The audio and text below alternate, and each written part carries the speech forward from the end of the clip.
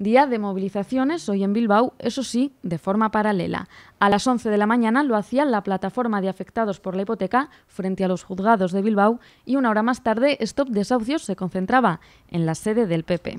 La protesta es la misma, reprobar las acusaciones de la delegada del Gobierno en Madrid, Cristina Cifuentes, después de que ésta vinculase la plataforma contra los desahucios con grupos filoetarras. La señora Cifuentes, de todas formas, todo lo que se mueva fuera del PP parece que considera que es proetarra, con lo cual tampoco nos ha sorprendido excesivamente. Sí nos han sorprendido las diferentes amenazas que ha, recibido miembros de esta plataforma, como Ada Colau y otros compañeros, que han recibido amenazas de muerte. Por su parte, Stop Desahucios se ha acercado esta mañana hasta la sede del PP para hacer llegar este escrito a Antonio Basagoiti.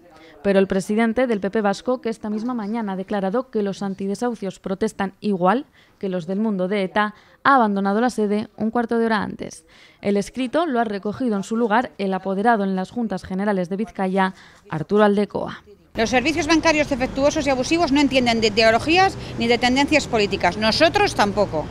Por lo tanto, exigimos una rectificación de la delegada del Gobierno de la Comunidad Autónoma de Madrid, Cristina Cifuentes, la cual criminaliza a las plataformas de afectados y a los desahuciados. El origen de esta tensión está en los scratches. Así se denomina en Argentina a las manifestaciones realizadas ante las viviendas de los políticos y que ahora ha recuperado la plataforma de afectados contra la hipoteca pues desde hoy a ellas se suman también Stop Desahucios Vizcaya. Si lo que querían conseguir era que no haríamos nada, lo que han conseguido es lo contrario. Nosotros no vamos a ir a los domicilios particulares de ningún político, pero sí vamos a ir a todos aquellos actos públicos que podamos de miembros del PP, allí nos vamos a presentar. Ambos colectivos han declarado que si Cifuentes no rectifica, interpondrán contra ella acciones legales.